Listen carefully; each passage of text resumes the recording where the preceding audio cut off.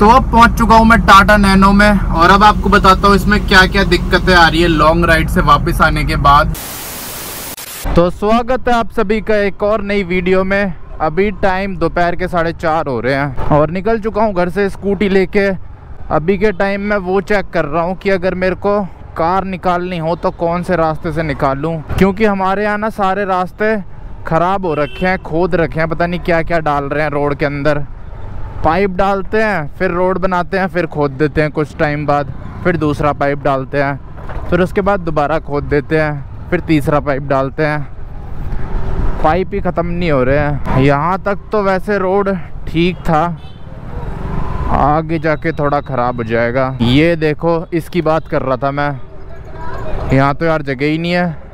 बीच में इतना बड़ा खोद रखा है, उधर से निकलेगी नहीं गाड़ी। सिर्फ़ बाइक निकलने की जगह है। यहाँ तो चलो फिर भी आ जाएगी, लेकिन जो पीछे खोद रखा है मेन दिक्कत तो वो है। सामने से एक इको आ तो रही है। यहाँ पे बस लोग अपनी गाड़ियाँ ख़राब कर रहे हैं, गाड़ियाँ तोड़वा रहे हैं। लोग क्या तोड़वा रहे हैं? सरकार तोड़ रही है, गरीब लोगों की गाड़ियाँ। और कुछ टाइम बाद जो रोड बचा हुआ है ना, ठीक, वो भी ख़राब हो जाएगा, उसे भी खोद देंगे। हो सकता है आज खोद दे, कल खोद दे, परसों खोद दे।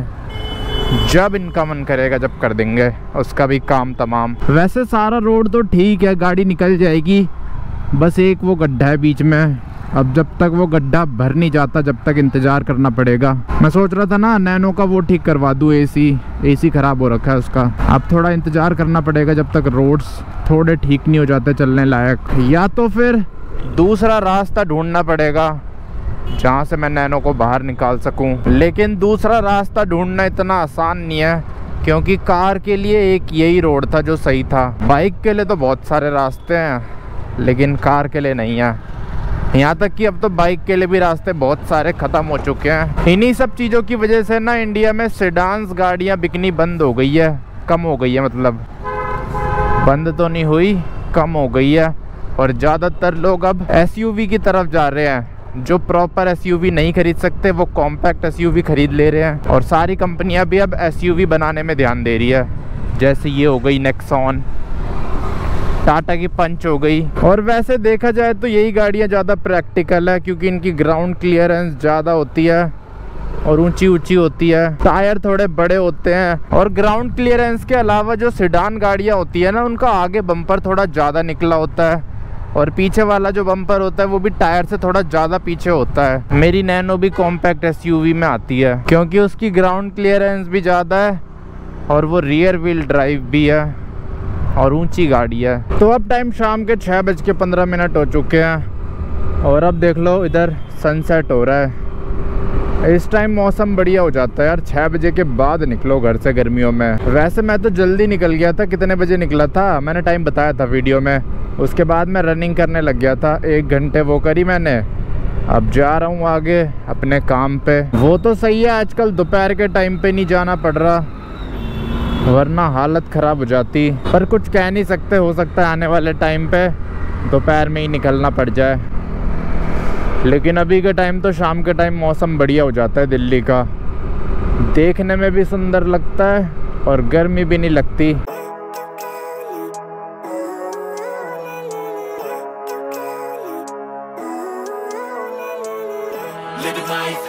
तो अब मेरे सामने आ चुकी है जिप्सी। आर्मी की जिप्सी है, एकदम वाइट कलर की। शाम के टाइम यार मौसम तो ठंडा हो जाता है, लेकिन रोड पे भीड़ भी बढ़ जाती है। ऑफ़िस का टाइम शुरू हो जाता है ना एक तो। और दूसरी चीज़, गर्मी की वजह से ज़्यादातर लोग शाम को ही निकलते हैं। इस टाइम वैसी गर्मी नहीं है, लेकिन गाड़ियों से बहुत ज़्यादा गर्मी निकल रही है। उसकी वजह से गर्म गर्म हवा आ रही है। तो अब टाइम शाम के साढ़े सात बज चुके हैं, और अब निकल चुका हूँ मैं वापस घर जाने के लिए। और न यार, मेरी नैनो में ना बहुत सारी दिक्कतें आ चुकी है लॉन्ग राइड से वापस आने के बाद। तो घर जाके दिखाता हूँ आपको क्या क्या दिक्कतें आ रही है नैनो में। चलते हैं सीधा घर, फिर दिखाता हूँ आपको ढंग से।